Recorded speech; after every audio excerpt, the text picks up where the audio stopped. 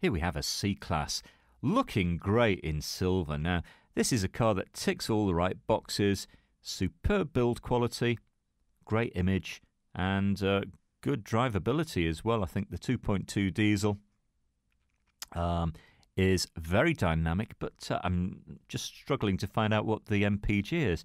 I think it's early 50s MPG combined, so that's not bad. And this is the AMG Sport Edition from 2013. It's covered just under 30,000 miles, so not too many for its year. Superb cabin. Those front seats are heated, by the way. We've got climate control and remote locking, electric windows, parking sensors, and Bluetooth. You can hold the car for up to 48 hours with no deposit and no obligation. Bring your license with you, have a test drive, and discover this great car for yourself at Fords of Winsford.